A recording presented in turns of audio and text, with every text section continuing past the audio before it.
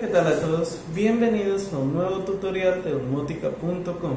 El día de hoy hablaremos acerca de la clase número 4 de Arduino. En esta clase vas a aprender a lo que son buenas prácticas a la hora de hacer un código en Arduino, lo que es manejo de librerías, creación de archivos, etc. Y un par de ejemplos con las librerías que más se utilizan en Arduino. Vamos a la sección de buenas prácticas. En las buenas prácticas, una de las buenas prácticas que puedes hacer a la hora de hacer tus programas en Arduino es, en lugar de declarar constantes, ojo, esto aplica solo a constantes que no cambien durante todo el programa, vas a utilizar a la palabra reservada del compilador numeral define. Numeral define es una palabra reservada del compilador, el cual lo que hace es, cuando le das compilar al proyecto, lo que va a hacer es ir y reemplazar ese valor en todas las partes del programa donde uses tu variable. ¿Esto para qué se hace? Para que en tu programa tengas declarada la variable en la parte superior como le gusta a todo el mundo y a mí también. Y cuando le des compilar, ese valor se reemplace en todas las partes del programa donde lo utilices, ahorrando muchísima memoria ¿Por qué? Porque el uso de constantes ocupa un espacio en la pila, espacio que puede ser valioso para un programador. La segunda buena práctica es separar el código en archivos independientes. ¿Pero qué tipo de archivos? Bueno, primero que todo y antes que nada, el archivo .ino debe estar ahí, intocable. Ese archivo .ino pues contiene la función setup y la función loop. Pero como habrás visto, podemos incluir en la parte superior otros archivos con la instrucción numeral incluye el nombre del archivo. Muy bien, entonces lo que podemos hacer es en el mismo folder del programa crear archivos .h que son los header o encabezados donde se declaran las clases y los métodos y un archivo .cpp que es de procedimientos donde se ejecutan todos los métodos, todas las funciones. ¿Listo? De esa forma, ¿cuál es la idea del programa? Que cuando tú veas un programa Arduino, específicamente el archivo .ino, diga el archivo void setup eh, configuraciones configurar entradas configuraciones punto configurar salidas eh, procedimiento punto analizar datos procedimiento punto preparar JSON JSON punto parse y send JSON y entre paréntesis el JSON. Entonces yo ahí mismo apenas leí ese programa, ya sé que lo que él hace es la lectura de sensores y luego arma un JSON y lo envía por petición web sin tener que mirar cientos de miles de líneas de código. Ahora, si veo que el problema en el programa está en una función en específico, pues me voy al punto header, luego voy al punto cpp y corrijo ese problema. Listo hace que el código sea mucho más entendible y escalable. Por último, si tu decisión no es utilizar numeral define porque no quieres, porque no la conocías, etc., la mejor opción para ahorrar memoria es utilizar en todo lado donde sea posible constante, donde sea posible. ¿Por qué? No es lo mismo declarar int led igual a 13 a decir const int led igual a 13 ¿Por qué? Cuando dices inlet igual a 13, Arduino interpreta que en algún punto del programa lo vas a reemplazar, le vas a cambiar el valor y lo deja asignado como una variable la cual puede almacenar un valor muy grande. Cuando le dices constante, Arduino calcula el espacio en memoria y va y lo guarda en un registro que ocupe solamente el tamaño justo de esa constante. ¿Listos? Con esto terminamos la sección de buenas prácticas en Arduino. Ahora pasamos a la sección de librerías. Librerías ya trae el IDE de Arduino.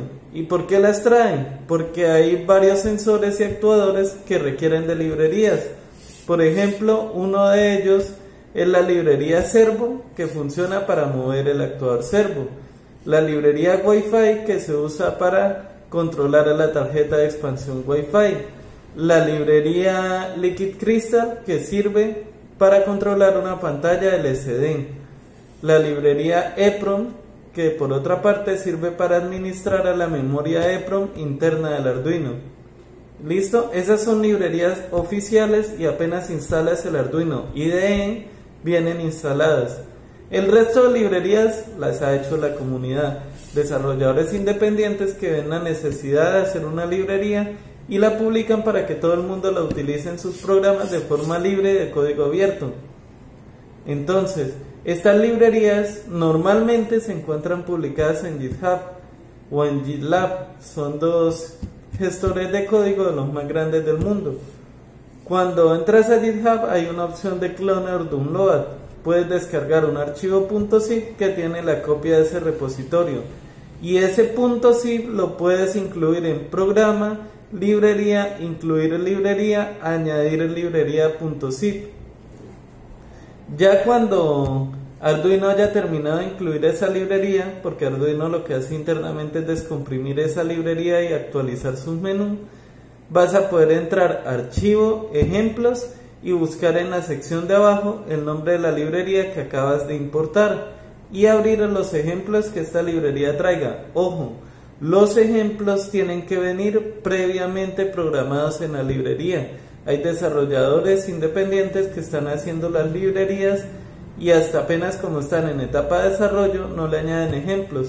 Como hay otras personas a las que nos gusta añadir cientos de ejemplos para que la gente entienda fácilmente cómo se usa la librería. ¿Qué componentes trae dentro una librería?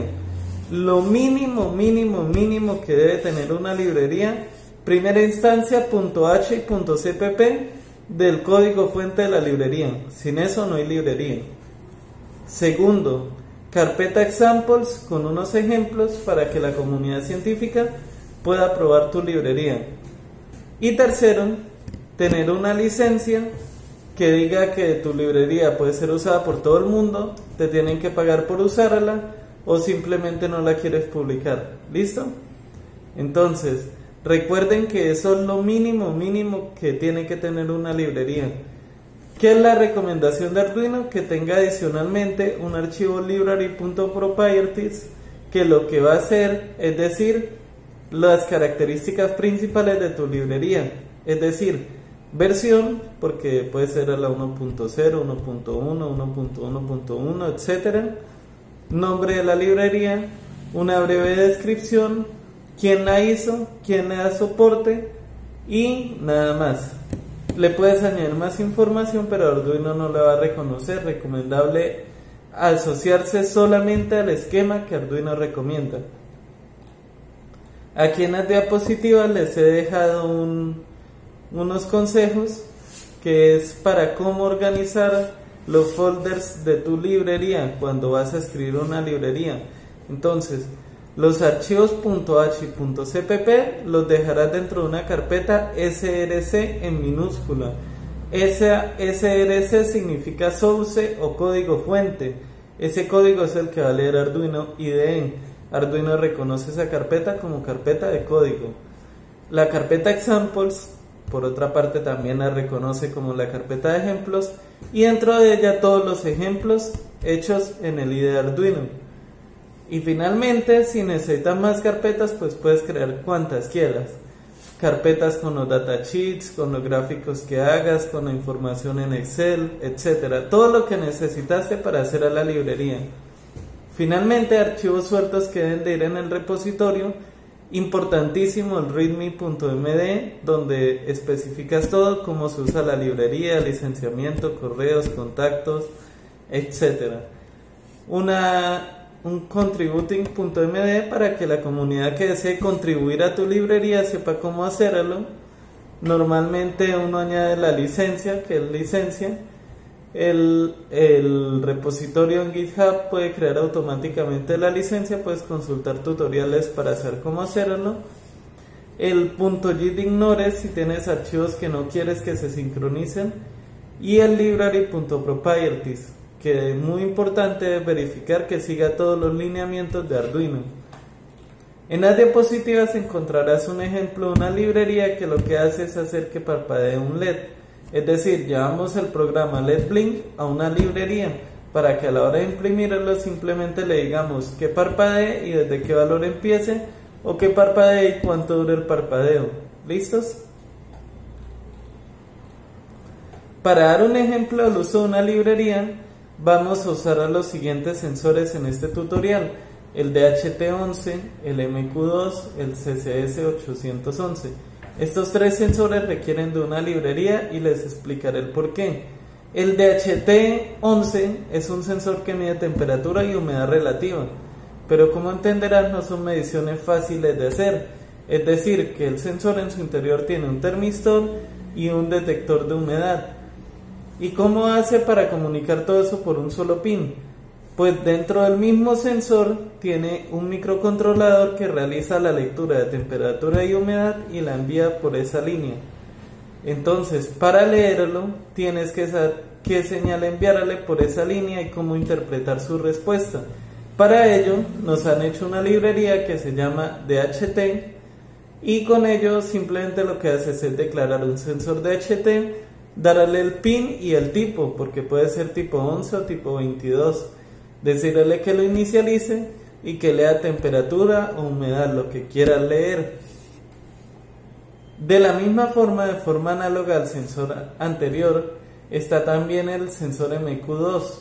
¿Por qué este sensor necesita una librería?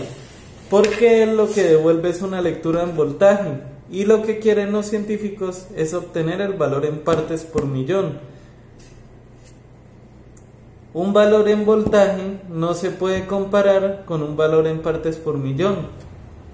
Entonces lo que hemos hecho en la librería, porque esta librería es propia de nosotros, es tomar las gráficas de los datasheets, extraer la ecuación matemática que modela el sistema mediante regresión lineal, regresión cuadrática y exponencial, encontrar la ecuación que mejor representa el sistema y simplemente ahora con el voltaje que tú nos das, lo que hacemos es computar qué valor en ppm tiene esa lectura de voltaje y de esa forma hacemos que la lectura que tú estás haciendo la puedas presentar en un artículo científico como resultado de investigación.